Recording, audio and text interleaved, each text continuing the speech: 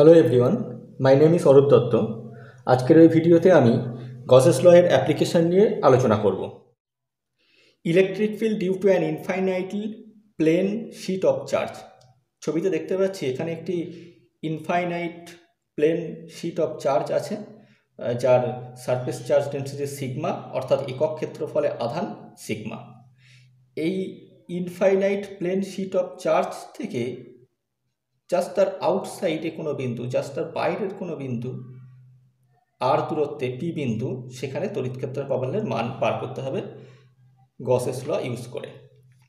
তো আমরা এর আগেও দেখেছি যে গসেস ল ইউজ করে তড়িৎক্ষেত্র প্রাবল্য বার করতে গেলে আমাদের একটি গসিয়ান সার্ফেস চুজ করতে হয়। তো এখানে আমরা যে গসিয়ান সার্ফেসটা নেব, সেটি হবে একটি ক্ষুদ্র সিলিন্ডারিক্যাল বা পিল বক্স শেপের গসিয়ান সারফেসটা আমরা আঁকছি গসিয়ান সারফেসটা হবে যার অর্ধেকটা থাকবে ওই ইনফাইনাইট শিটের রাইট সাইডে এবং বাকি অর্ধেক থাকবে ওই ইনফাইনাইট শিটের লেফট সাইডে এখন, যদি আমরা গসের সূত্র কাজে লাগাতে চাই, তাহলে গসের সূত্র অনুসারে লিখতে পারি integration E dot dS is equals to Q enclose by epsilon naught এখন এই গসিয়ান সারফেসের মধ্যে কত চার্জ এনক্লোজ আছে?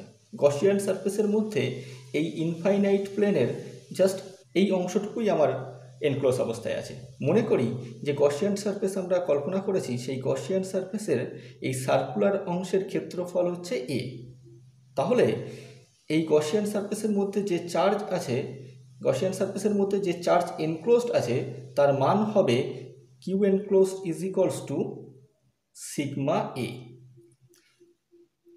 কারণ ওই প্লেন শিটের সিগমা প্লেন শিটের এ ক্ষেত্রফলটুকুই ওই গসিয়ান সারফেসের মধ্যে আবদ্ধ আছে। এবার এই গসিয়ান সারফেসের ক্ষেত্রে আমরা তিনটে তল নিয়ে ভাবতে পারি। সেটি হলো এই দিককার, এটি হলো একটি সার্কুলার তল, এটা এক নম্বর। এটি আরেকটি সার্কুলার আরেকটি সার্কুলার প্লেন এটি দু নম্বর এবং আরেকটি হলো কার্ভ প্লেন যেটাকে আমরা তিন নম্বর প্লেন নাম দিই। সুতরাং এই ইন্ট্রিগেশনকে আমরা তিনটে ভাগে ভাগ করে লিখতে পারি। Integration E dot dS over এক নম্বর সার্ফেস বা E dS cos theta plus integration E dS cos theta দু number surface plus integration E dS cos theta over তিন number surface is equals to Q enclose by epsilon naught এখন, এই plane শিটের জন্য electric field একটি একটি plane sheet তাতে যদি চার্জ দেওয়া থাকে, তাহলে তার জন্য ইলেকট্রিক ফিল্ডের লাইনগুলো হবে ওই শিটের সঙ্গে লম্বভাবে, যদি ধনাত্মক আধান দেওয়া থাকে, তাকে লম্ব হবে বাইরের দিকে। এবং ওই শিটের দু পিঠে, এটি যদি একটি শিট হয়, শিটটির এদিকেও ইলেকট্রিক ফিল্ড থাকবে এই দিকেও ইলেকট্রিক ফিল্ড থাকবে, দুদিকেই থাকবে। সুতরাং এই শিটটার জন্য ইলেকট্রিক ফিল্ড হবে এই দিকে এবং এই দিকে দুদিকে ইলেকট্রিক ফিল্ড কাজ করবে। আবার এক নম্বর যে সারফেস সেই এক নম্বর সারফেসটি সার্কুলার সারফেস এবং সেই সারফেসের এলিমেন্ট এরিয়া এলিমেন্টের দিকও হবে ওই একই দিকে।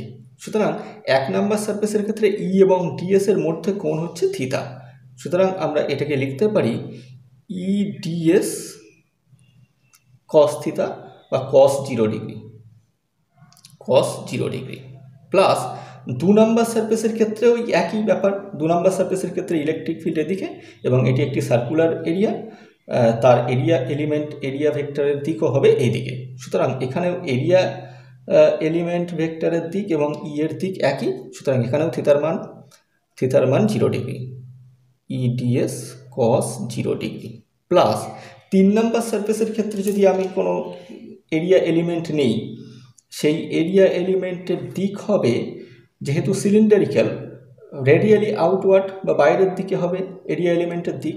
কিন্তু ইলেকট্রিক ফিল্ডের দিক আমি একটু আগেই বললাম, ওই প্লেনের সঙ্গে পারপেন্ডিকুলার সুতরাং ই এবং ডিএস এর মধ্যে অ্যাঙ্কেল হবে নাইনটি ডিগ্রি তাহলে ই EDS cos ninety degree cos নাইনটির মান শূন্য, সুতরাং সুতরাং এই ইন্টিগ্রেশনটাকে আমরা বাদ দিতে পারি। এবার এই প্লেন সারফেস থেকে আর দূরত্বে এক নাম্বার সার্কুলার সারফেসটি আছে এবং এই সার্কুলার সারফেসের প্রত্যেকটা বিন্দুই ওই সারফেস থেকে ইনফাইনাইট প্লেন থেকে সমদূরত্বে আছে। এদিকেও দু নাম্বার সারফেসটি ওই আর দূরত্বে এবং প্রত্যেকটা প্লেন প্লেনের প্রত্যেকটা পয়েন্টই ওই প্লেন থেকে একই দূরত্বে আছে। সুতরাং দুটি প্লেনের ক্ষেত্রে ইলেকট্রিক ফিল্ডের মান সমান হবে এবং ইলেকট্রিক ফিল্ডের মান ওই এরিয়ার উপরে ধ্রুবক হবে। সুতরাং এই ইলেকট্রিক ফিল্ডটাকে আমরা ইন্টিগ্রেশনের বাইরে নিয়ে আসতে পারি। তাহলে ই ইন্টিগ্রেশন ডিএস এক number surface plus E integration dS দু number surface is equals to Q enclose by epsilon naught বা ই ইন্টু এক নাম্বার সারফেসের ইন্টি উপরে সারফেসের উপরে ইন্টিগ্রেশন ডিএস ইন্টিগ্রেশন ডিএস অর্থাৎ এক নাম্বার সারফেসের ক্ষেত্রফল।